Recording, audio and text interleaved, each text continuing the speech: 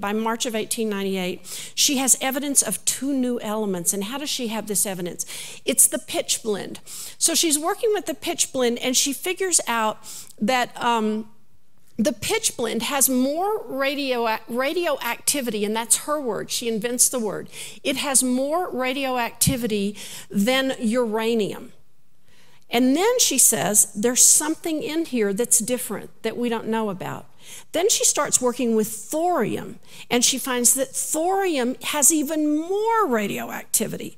So she doesn't know what it is, but she thinks she might have two new elements. Marie Curie had spent five months obsessing on these questions, coming to the conclusion that there were two new elements, recognizing that there might be something even more important about this, which is that it would illuminate the nature of matter.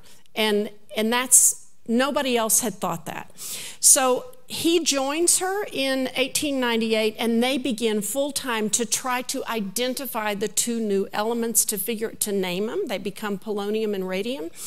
And um, and they're trying to you know definitely have enough evidence to persuade other scientists that there are two new elements that that's what they're looking at in the radioactivity. And they succeed in doing that and in um, in May of 1903, uh, Marie Curie defended her doctoral dissertation, and in December, she was awarded the Nobel Prize. So that's a pretty good record.